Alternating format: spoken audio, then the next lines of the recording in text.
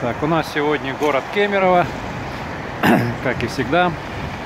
Сегодня понедельник, 20 какой, 8 да, января. Понедельник, короче.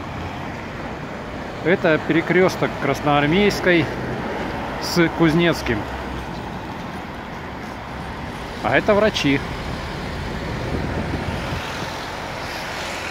Поликлиника 17 медсанчасть была, сейчас поликлиника номер 4, неважно. Учебная тревога пожарная.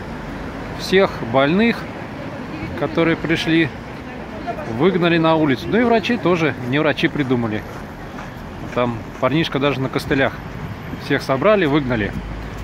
А температура минус 24 вообще-то. Вот интересно, кто придумал больных людей в 24 градуса выгонять? Ну, явно, конечно, не медперсонал. Они сами недовольны. Черт. А 24 градуса больных выгнать на улицу, устроить тревогу, что-то как-то такого я еще не встречал. А куда все пошли? Что, совсем пошли? Приема больше не будет?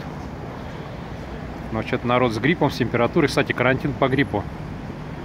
И ушли. Интересно. Ну ладно.